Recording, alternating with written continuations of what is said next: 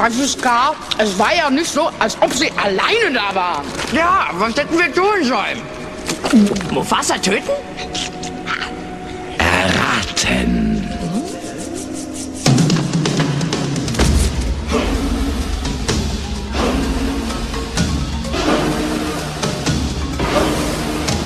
Weiß, die Beschränktheit der Hyänen ist bestimmt alles andere als klein. Ich will nebenbei nur erwähnen, ich red nicht nur Löwenlatein. Die stumpfen Visagen betonen, die oberen Etagen sind leer. Ich rede von Königen, von Thronen. Und auch Unwissen schützt euch nicht mehr. Für die Zeit eures Lebens. Seid bereit für den größten der Coups. Die goldene Ära schleicht näher und näher. Und was springt für uns raus? Ich lass euch schon nicht aus, ihr dämlichen Viecher. Der Lohn ist euch sicher an dem Tag, wenn das Recht triumphiert und mich endlich von Knechtschaft. Seid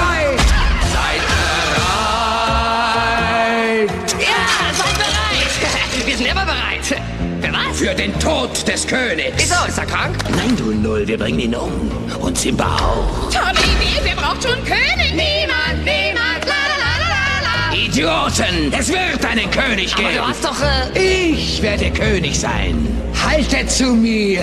Und ihr werdet nie wieder Hunger leiden.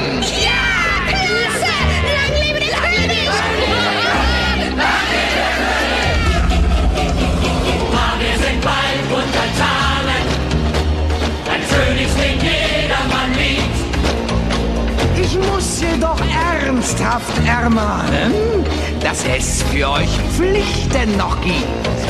In Zukunft gibt's so viel zu plündern. Das meiste krieg sowieso ich. Ich darf trotzdem höflichst erinnern, kein Krümelchen gibt's ohne mich. Seid bereit für den Coup des Jahrhunderts. Seid bereit plane seit Jahren, trotz aller Gefahren, gerissen, verbissen, ganz ohne Gewissen, als König geboren, zum Herrscher